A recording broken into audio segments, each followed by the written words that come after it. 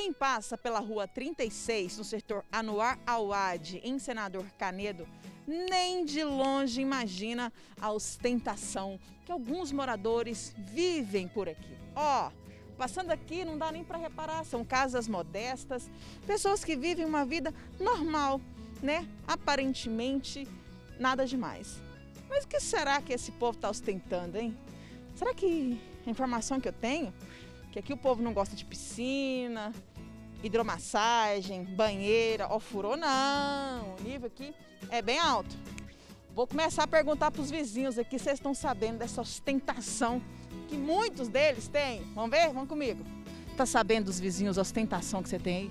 Sei, é chique. É. Já foi lá? Já, Top mesmo. top. Não parece que é fundo de casa. Não, parece não. E eu já fui informada que uma dessas pessoas, ostentação, tá aqui, ó. É o Luiz. Luiz, me conta aí. Diz que você tem uma parada muito diferente no seu quintal. Tem interessante, sou satisfeito É. do que Deus fez por nós, né? E vem cá, mas eu fiquei sabendo que aqui ninguém tem sonho de ter piscina, é, esses trem de hidromassagem, ninguém tem interesse nisso. Não tem interesse não. Não, te der de graça, o senhor não quer? Nossa.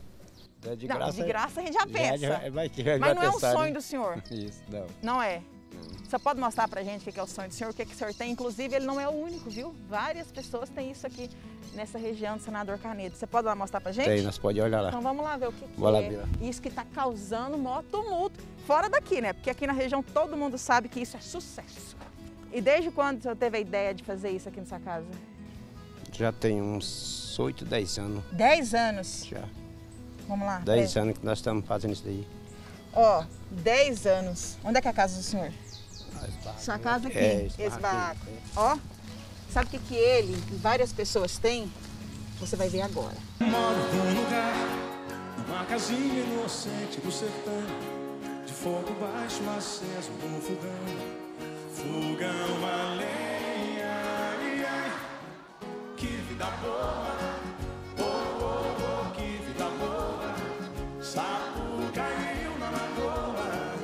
caminho. Seu Luiz, o senhor tem lagos naturais aqui na sua casa. Tem piscina, obra da natureza. O senhor tem patim, tem peixe. Tem peixe, nós temos peixinho também. E aí, quem que o senhor recebe aqui? Família? É, familiar, né? Família de família vem aqui, né? Nós, nós eh, frita um peixinho para nós comer, né? Então isso é a alegria da gente, né? Maria José, Olá, tudo bem? bem-vinda. Fiquei sabendo que você tem um lago aí que o bicho é potente. É, um pouquinho, não é muito. Podemos entrar? Vamos entrar. Vou te fazer um desafio. Tem que pescar, limpar e fritar. Adoro! Vamos lá então, minha.